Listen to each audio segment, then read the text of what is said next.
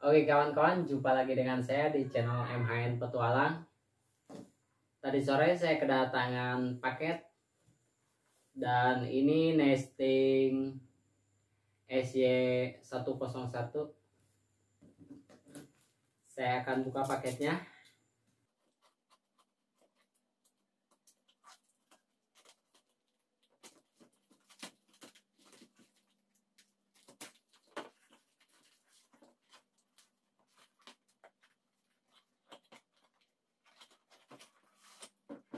Oke, dan ini nestingnya.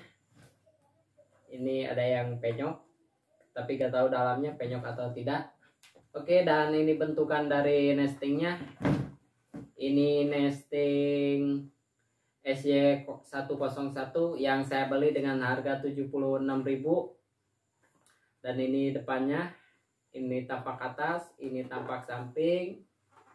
Ini tampak sampingnya lagi dan ini tampak sampingnya lagi. Oke, kita buka.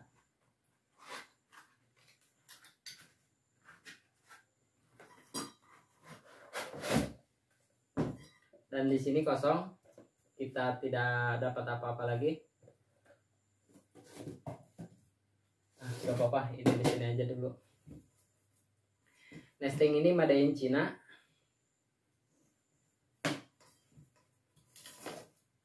Oke, kita buka kita mendapatkan jaring. Sini kita mendapatkan panci penggorengan.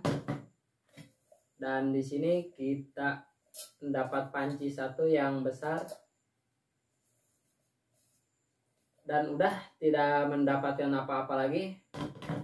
Ini berbahan aluminium, cuman kalau ini teksturnya bergelombang ya. Kok aneh? Gak seperti nesting seperti biasanya.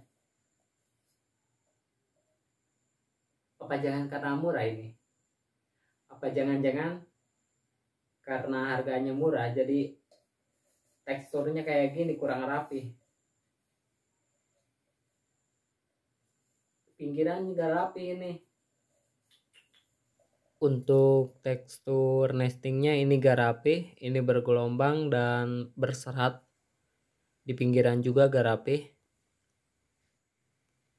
Bisa kalian lihat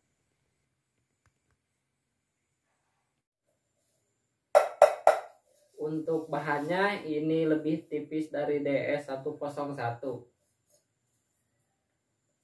dan untuk pegangannya ini aluminium dan ini ada karet. Sama ini juga pegangannya aluminium dilapisi dengan karet. Tidak lupa kita ukur-ukur. Untuk lebarnya ini 12 cm setengah dan untuk tingginya 10 cm setengah kita ukur satu lagi. Untuk yang ini diameternya 11 setengah dan tingginya 6 cm kita ukur tinggi keseluruhan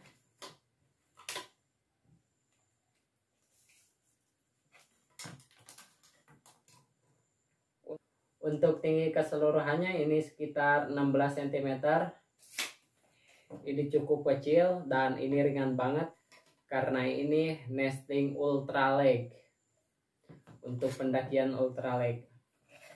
Sebenarnya saya memiliki beberapa nesting, ada sekitar 3 set sama ini. Ada DS200 dan ada juga Camel yang berapa ya? Pokoknya ada yang camel stainless dan paling banyak camel stainless kalau ini cuman ini doang gak ada apa-apa lagi Oh iya, untuk tabung kanister ini bisa masuk ke sini. Cuman saya lagi gak ada tabung kanisternya, jadi saya gak bisa praktekin.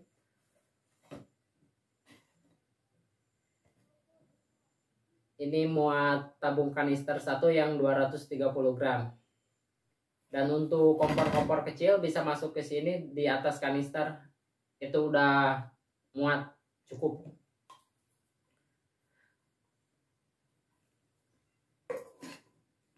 Oke, segitu saja review dari saya. Terima kasih sudah menonton. Sampai jumpa lagi video selanjutnya. Dadah.